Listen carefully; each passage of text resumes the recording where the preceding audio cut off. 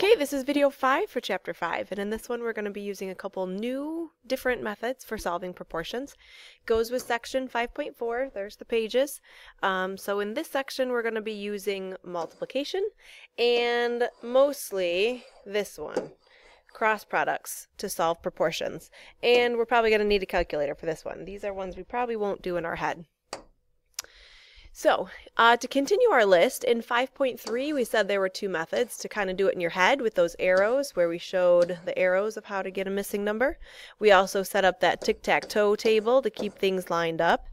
And in this section we're going to be learning two new strategies. So here's the first one, to multiply. Just use multiplication. When I see a proportion like this one, um, I could multiply both sides, right? If I'm solving for C, I could multiply both sides by 12. That would cancel that out and give me C by itself. It's one way to get the variable. And now I just have to do this math. So 12 divided by 3 would give me 4, and then multiply it by the 5, I get 20. So, cool. One way is to just multiply until you get the variable by itself, just like this was a, if it was an equation multiply by 6. Cancel, cancel, I get w by itself. Now I just have to do the math. So here it looks like it'd be easier to do 6 times 6, and then divide it by the 9, so I get w is equal to 4. Or here, trying to get a by itself, so multiply by 15. So again, a calculator might help you. I might do 15 times 12, that's 180 and then divided by 10, so I get 18. All right, you try number three. Just work out, get y by itself, and then we'll check it and move on to the next strategy. Okay, so check those answers here. The last one I got y is 3. Um, that's one strategy. But most of the time you're probably going to use this one. For the rest of the chapter, a lot of people like to use cross products or cross multiplying. So, um, solve each proportion using cross products. Here's what that would look like if I take the cross products, 4 times u, and then the other cross products, remember these diagonal numbers, 3 times 6, and I set them equal to each other. Now, it doesn't matter if I write 4u equals 18 or if I write 18 equals 4u, they're going to give me the same answer. Either way, I get an equation and I'm going to solve it for u. So divide by 4 on both sides, and I get u is equal to 4.5. Okay? If I solve this one, I'd get the same answer. So it doesn't matter which order, you're just taking the two cross products. So like here, 13 times 12, I might have to work that out. And then, so 156, and it's equal to 4 times h. Again, get the h by itself, so do whatever you need to do to cancel out and solve for the variable and I would get 156 divided by 4, 39. So that's cross products. Find the cross products um, and then solve for the variable. You do need to show your work, so you do need to show the equations. Um, try 4 and 5 right now, and then we'll come back and talk about 6. So pause it, see if you got it down. Okay, there's my answers for uh, number 4 and number 5 there. Let's talk about number 6. Here I am still going to do cross products, but if you notice I have z plus 1 on the bottom here, I have to multiply that all by 15. So I'm going to do it on this side, I have a little bit more room. It's going to look like that, where I actually have to distribute it uh, to work that out. And then on the other side, here I have 40 times 6. So take a second to distribute. 15z plus 15 and the 40 times 6. So then it's just a two-step equation. Minus 15 from both sides, then divide by 15 on both sides, and I get z is equal to 15. So even when you see something like this, don't freak out. It just means you have to distribute it and then work it out, solve for your variable just make sure you actually show all the steps and all the work. Um, don't think if you can kind of do it in your head or type numbers into the calculator that you don't have to show it. It needs to all be written down on your paper. So, uh, just a quick reminder, all proportions, right, are a ratio equal to another ratio. So they require four different numbers, right? One fraction or ratio equal to another fraction or ratio is four parts total. So anytime when we do story problems like we're about to start, you need to figure out what those four numbers are. They should give you three of them, and then the one that's missing is going to be your variable or your x. It could be anywhere. This could be the one I'm searching for. This could be the one I'm looking for. It doesn't matter where it is, but you're going to just use cross products to find the one that's missing. So we're going to do a bunch of word problems together. Um, we're going to set up our own proportions, make sure the labels are all lined up, right? Line up the labels. You could write it in a different way than me, but you should uh, come up with the same answer. And um, I've left some of the numbers out on your worksheet, so just fill them in. When you see the questions up here, right, fill the numbers into the problems, and then we'll work it out together. So 36 pencils are packed into three boxes. How many pencils are packed into five boxes? So I have pencils, boxes, pencils, and boxes. Doesn't matter whether your labels line up this way or if your labels all line up this way. Maybe you want to use a tic-tac-toe board to help you, but we got to get everything lined up to set up our proportion the right way. So I'm just going to start with 36 pencils, go into three boxes. There's two of my numbers. That's a ratio that I do know. And then how many pencils are packed into five boxes? Well, the five boxes needs to line up with this boxes. And pencils would line up here with pencils, but that's what I don't know. How many pencils, I'm not sure. So there's my proportion. Now you can either use arrows, do it mentally in your head, or cross products. Um, looks like for me, this one's pretty simple if I just want to multiply by 12 and multiply by 12, I would get my answer, right? So that would be 5 times 12. 60 pencils would be in 5 boxes.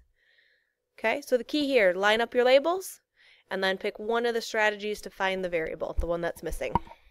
Let's try these two. So again, fill in the blanks on your problem and then we'll work it out. In 8 seconds, an engine turns over 734 times. How many rotations in a minute? Hmm, so careful here because I have to look at my labels. I have seconds, I have minutes, and I have rotations or turns. Uh, well, I know I need my labels to match. So let's turn them into, for seconds, let's turn this into seconds. Instead of asking about a minute, since we need the labels to match, let's do this with 60 seconds. So, 8 seconds, an engine turns over 734 times. That's a ratio that I do know. So always start with the ratio you know. Doesn't matter which way I set it up. 8 seconds, 734 rotations or times. And then they say how many rotations. Ah, so this is what I don't know. I don't know how many rotations here. In a minute. And we said we were going to use 60 seconds for a minute so that the units all matched. So double check. Seconds, seconds, rotations, rotations. This is the part I'm looking for and then either use cross products, probably easiest for this one, or yeah, nothing easy in your head, so cross products. So 734 times 60, I'm just going to write it down and then we'll check it. So I just did the math to get my cross products here, divided by 8 on both sides to get x by itself, and I got 5,500, and I just need a label. So right here, because I labeled it, I know I'm looking for rotations. 5,500 rotations. Yep, that's what we got. All right, so try the next one. Car uh, with a full 13 gallon tank can go 359 miles. So right there, it looks like I'm making a ratio between gallons and miles. What is its gas mileage? Hmm. Well, here I have to think about what mileage means, gas mileage. That means how far can it go, how many miles can it go on one gallon of gas? So we said that we need four numbers to set up a proportion. Three of them have to be given in the problem. Looks like I know 13 gallons goes with 359 miles, and then I don't know, I'm looking for how many miles I can go on one gallon. So I set it up here, gallons over miles, gallons over miles. Here's what I'm trying to find. Use your cross products. So 13x equals equals the 359 here, then I just divide it by 13 on both sides, and I get x is equal to 27.6, but I need a label. Well, I was looking for miles. How many miles can I go on one gallon? So this must be miles. I can go 27.6 miles in one gallon. Okay, so let's keep going. What if they give me a unit rate? these can seem a little confusing. So your parents' car gets 27 miles to a gallon, kind of like the last example. How many gallons would it take to go 85 miles? So if you read this, you're thinking, I only have two numbers. That's not enough to set up and solve a proportion. But 27 miles to a gallon, there's another invisible number in here, to a gallon, to one gallon. So I actually have 27 miles, one gallon, how many gallons, so this is what I don't know, trying to find how many gallons it would take to go 85 miles. Check your labels, miles over gallons, miles over gallons. I'm going to cross multiply and get an answer. So finish this one and number four. Let's look at number four real quick too. How far can you get on 12 gallons of gas? Well, same thing.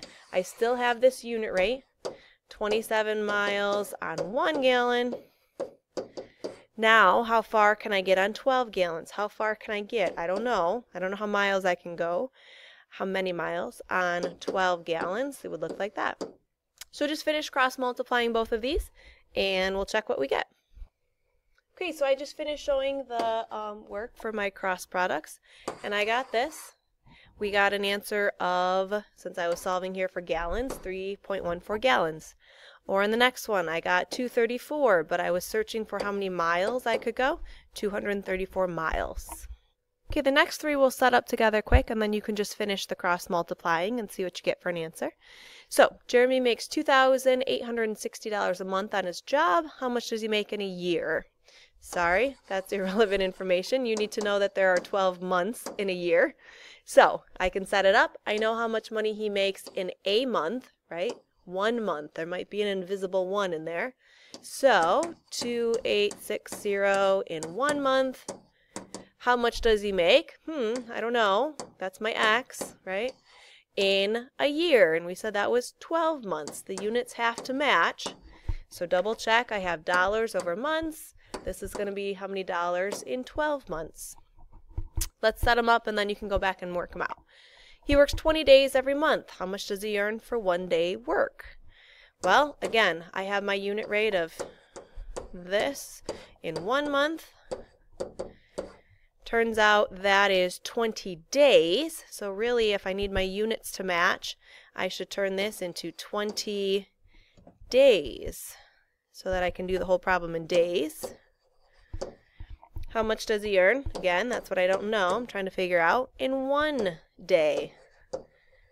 So sometimes you'll have to change the units. Like here we had to change years to 12 months, or here I have to change a month into 20 work days. So dollars over days, how many dollars in one day? And then this one, again, same number for what he makes in a month. How long will he need to work to earn $15,000? Okay, well, that much money in one month. How long will it take him? Hmm, that means this time I'm trying to find the time, how many months, to earn $15,000. The only trick is to make sure your units match up. Money over months, how, um, I know how much money, so how many months will it take? So go back and just finish your cross products for each of these and get an answer, and then we can check them. Okay, all I did was finish the cross products, right? Multiplying these, multiplying these, and then solving for x. So I got $34,000. That's how much he could make in a year. Um, when I just figured out x here, he makes $143 a day with a label, put labels and units on it.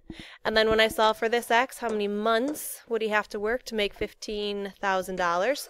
4 point, or sorry, 5.24 months. So there's three more for you to practice. Um, looks like in this one we're doing papers and minutes. Just be careful here if you have different units.